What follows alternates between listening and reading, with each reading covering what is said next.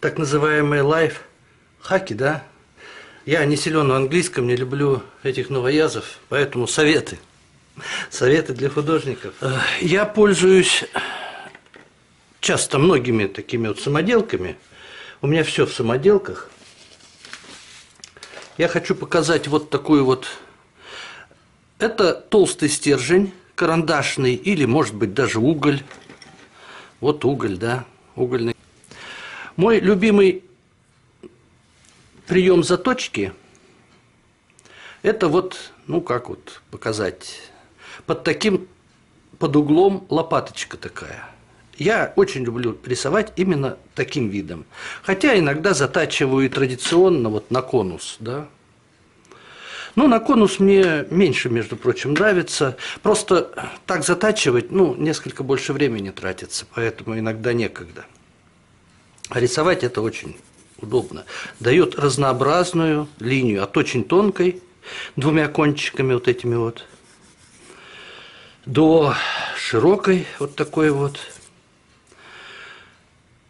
Рекомендую. И часто я использую э, вот именно широкий стержень такой где-то, до сантиметра. Это примерно пастель, там уголь есть. Типа как затачивать. Ну, для дома, для стационарного, так сказать, заточки я сделал себе две таких вот, господи, как их назвать-то,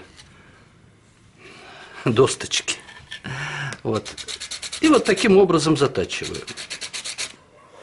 Не рекомендуется, кстати говоря, использовать, у меня их две для этого, одна для цветных, одна для черно-белых, потому что если мы на черно-белый начнем ее затачивать, то она запачкается.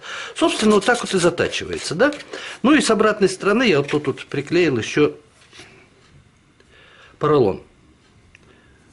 Это дома. Дома проще. Кстати говоря, то, что вот здесь вот накапливается, обычно это карандаш или графит, то это тоже можно использовать для рисования.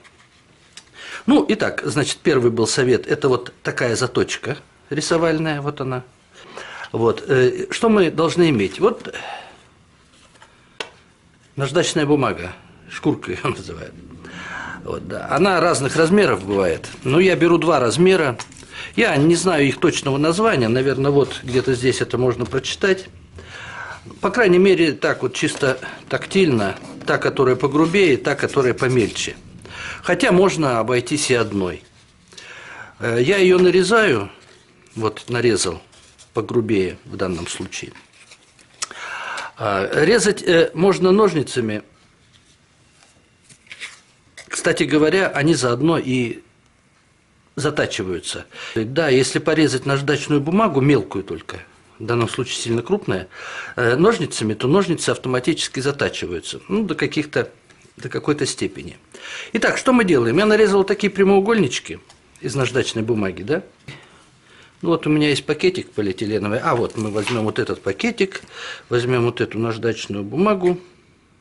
Вот примерно такая. Вот. А теперь самый простой вариант пополам согнуть, но сгибать я не буду, я воспользуюсь другим приемом. И примерно меньше половины, да, я обрезаю, разрезаю еще вот так. Сгибать наждачную бумагу э, плохо, поэтому я ее вот так вот таким образом совмещу. Возьму скотч.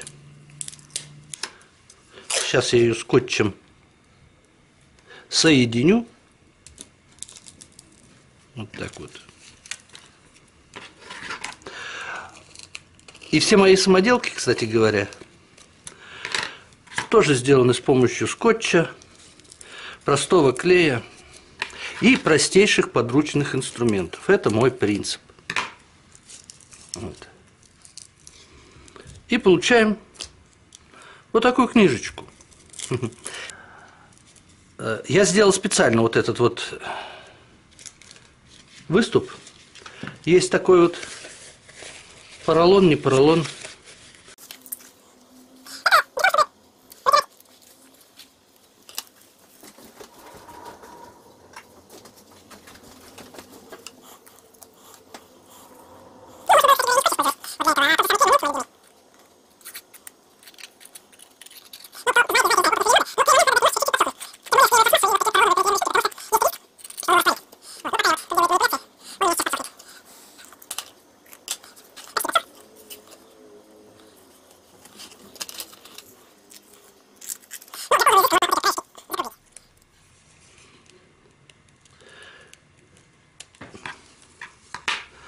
Получили вот такую штучку.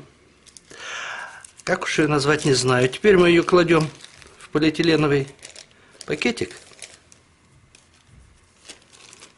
и будем испытывать. Ну и теперь берем нечто, кладем сюда.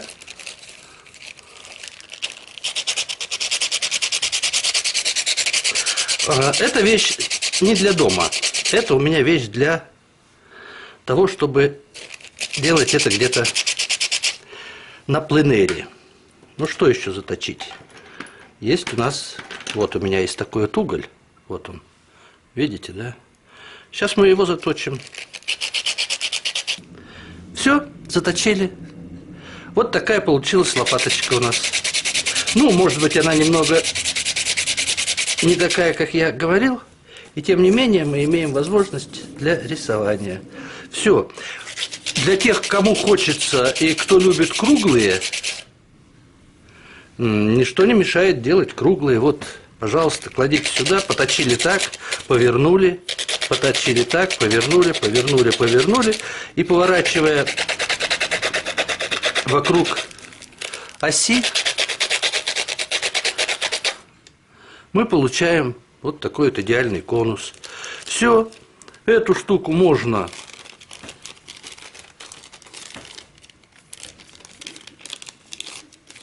вот так вот завернуть и положить в карман или куда угодно. А потом вытряхнуть эту пыль графитную. Все, пошли рисовать. Сегодня 7 января 2018 года.